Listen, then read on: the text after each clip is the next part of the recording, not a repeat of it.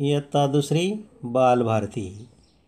पाठ क्रमांक दहा चिंटू रुसला चिंटू हसला या पाठावरील स्वाध्याय कार्य म्हणजेच वर्ग कार्य आपल्याला आज बघायचे आहेत. कारण सांग अ चिंटूला मित्र नव्हते. कारण? चिंटू अस्वच्छ होता. आ चिंटूला अभ्यास करताना आनंद वाटायचा नाही. कारण सर्व मुले त्याला हसायची व चिडवायची.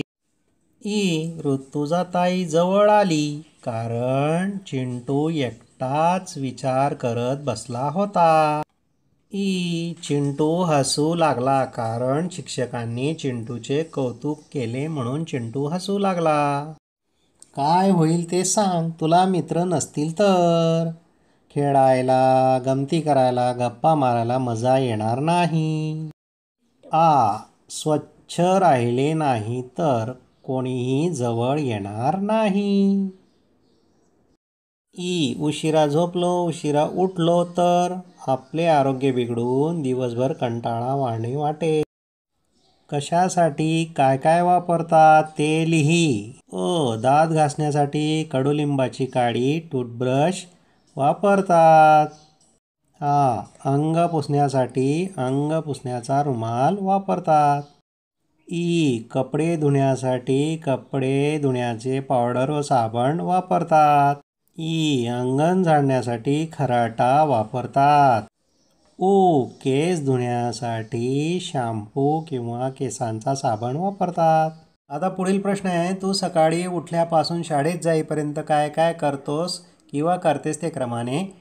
ली. आता काही मुलं काय करतात? लवकर सकाळी उठतात शौचास जाऊन हातपाय धुतात दात घासतात आंघोळ करतात नंतर स्वच्छ कपडे घालतात केस विंचरतात.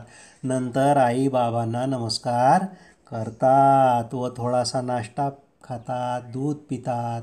मग दप्तरमधून काही पुस्तकं काढून दररोजचा अभ्यास करतात आणि मग नंतर शाळेची तयारी करतात.